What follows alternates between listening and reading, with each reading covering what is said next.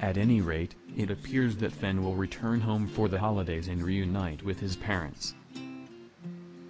The Young and the Restless posted a photo of Tracey A. Bregman, Zach Tinker, and Christian LeBlanc looking happy and smiling big with the following caption, It's beginning to look a lot like Christmas.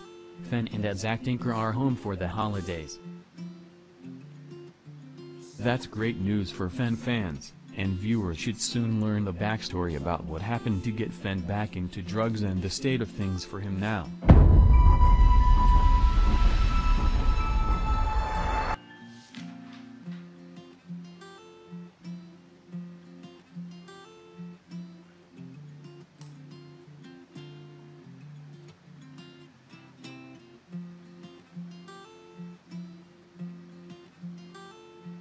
Michael and Christine are very angry because their son was deceived.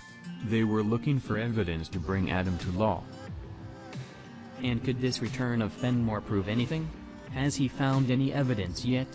Did Adam go to jail?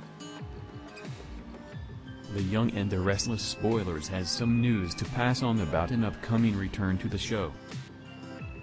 Zach Tinker will be returning to Y&R in the role of Fenmore Fen Baldwin later this year.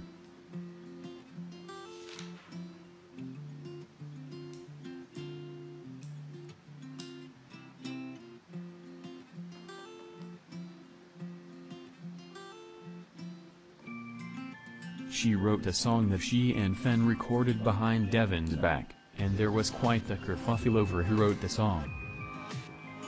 Anna later admitted that it was she who penned the song, and Fen ended up exiting Canvas to go on tour. Viewers haven't seen Fen since, but his name has certainly come up on Y&R since.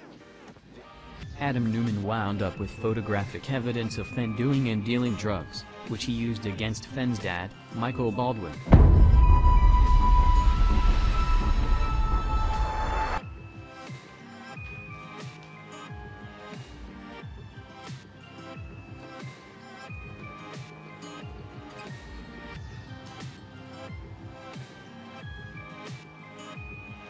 But it was also bad for Fen, who Y&R viewers know has previously struggled with addiction.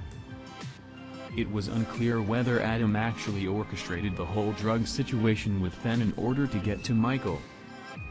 Or whether Adam just capitalized on an already occurring situation, but either way Fen was in trouble.